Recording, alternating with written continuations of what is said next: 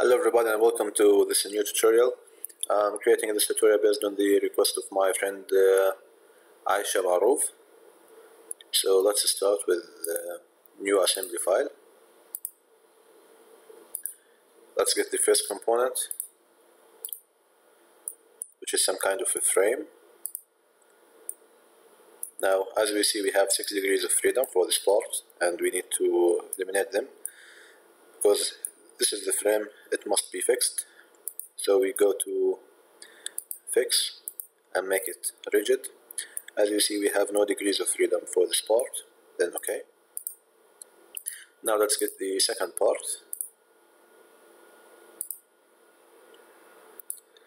Okay. Uh, we need this part to make a rotational motion about about this part. So let's define a pin connection between this surface and this surface. Now, uh, if you can see, there's a reduction in the degrees of freedom.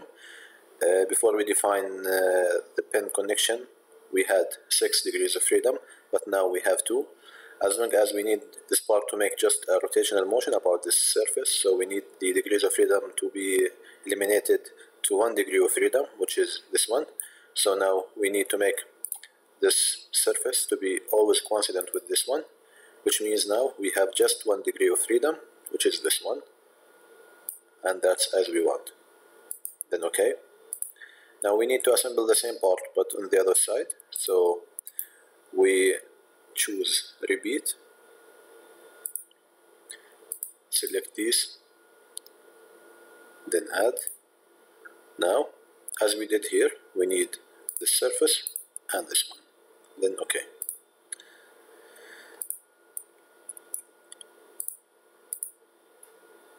as you see we have a rotational motion for this part and a rotational motion for this part too. Now let's get the fourth part here which is this one. Okay so we need this part to make a sliding motion inside this surface. So let's take a slider connection and take this cylindrical surface to make uh, sliding motion through this one. Now, as we know, to have a sliding motion, we in, in sliding motions we have just one degree of freedom, but as you can see here, we have two degrees of freedom. So we now uh, we need to eliminate this rotational motion. So let's show the planes, and now we need this plane to be always coincident with this one, which eliminates the the rotational motion. As we see now, we have just one degree of freedom for this part. Then okay. Let's drag this component to make sure that, as you see now, the motion is correct. Using the same logic we used for this part, let's repeat this one again. So we take this one and this one and click add we need this surface with this plane.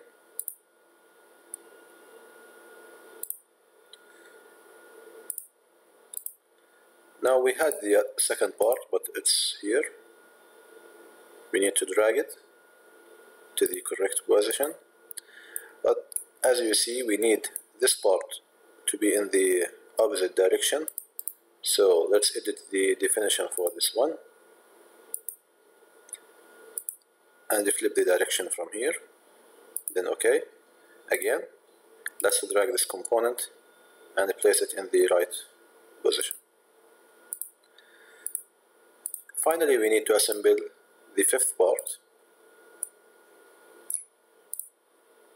which is this one. Again we need to eliminate these degrees of freedom and reduce them. So what we need here is to define a pin connection between this cylindrical surface and this one. Also we need to define a distance between this surface and this one and this distance to be 0.25.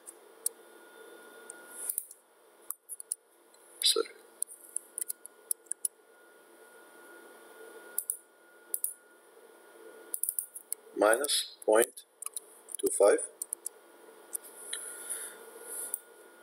that's great again placement in new set we need to make another pin connection between this surface and this one. And now to define a distance between this surface and this one. And as you see the software reads the distance automatically because we already defined it in the previous connection. After that we need this plane which is here in the middle to be always coincident with this one. So we go to new set again and select planar. Now we need this plane to be always coincident with this one. Then okay. Regenerate the model. And let's check the motion. So if we drag this part as you see. And we can drag it in the opposite direction as you see here. So that's it. It's uh, straightforward and easy. I hope you can do it easily. Thanks for watching